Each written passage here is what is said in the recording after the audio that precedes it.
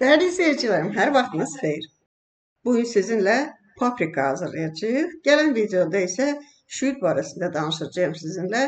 Bugünkü paprikalarımızı hazırlamaq üçün qırmızı istiot almışam. Deyirsiniz ki, hər dükanda satılır da, bunun əziyyət çəkməyə dəyərmi?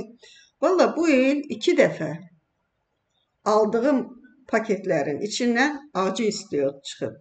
Əlimdə işimdə yarımçıq qalıb. Belə olmaması üçün 1 kilo istiot aldım və indi onu baxın, deməli, istiot deyəndə ki, şirin qırmızı biber, qırmızı şirin istiot almışam. Tumunu mütləq ayırıram. Bu pərdələrini də çıxardıram.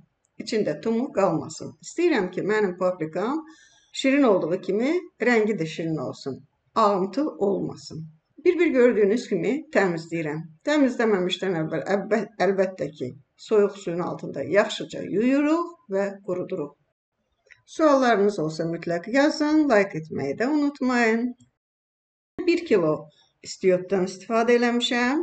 100 qram paprika alındı. Hamısını təmizləyib yığandan sonra sizə iki üsul deyəcəyəm. Necə qurutmaq lazımdır.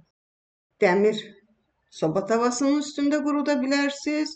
Əlbəttə ki, payızın günəşi daha əvvəlki kimi isti deyil. Ona görə bir neçə günə quruya bilər. Ya ipə keçirdi bütöv halda, kəsməmiş bütöv halda sağlam biberləri ipə keçirdi basa bilərsiniz, qalsın qurusun. Onu evdə eləmək lazımdır. Çünki artıq havalar soyuqdur. Və ya gördüyünüz kimi qurutma aparatınız varsa, ora düzürsüz və onu ə, xırda doğramaq lazımdır. Yəni bir e, iri bibərdirsə 7-8 yerə bölün və ya kiçikdirsə daha az hissəyə bölürük və gördüyünüz kimi baxın bu acı istiotdur. Acı qırmızı istiotdur. Tumu ilə bir yerdə rəngi birazcık açıq olacaq. Çünki qırmızı isti acı istiotun tumları daha çox acıdır, nəinki onun əti. Bu isə şirin biberimizdir. Mən onu qurutdum. Yenə kofe çəkən maşında çəkdim və indi rahatlıqla işlədə biləcəyəm. Gələn videoda isə sizə şübdən danışacağım. Paprikamın artıq ətri də, tamı da öz istədiyim kimi oldu.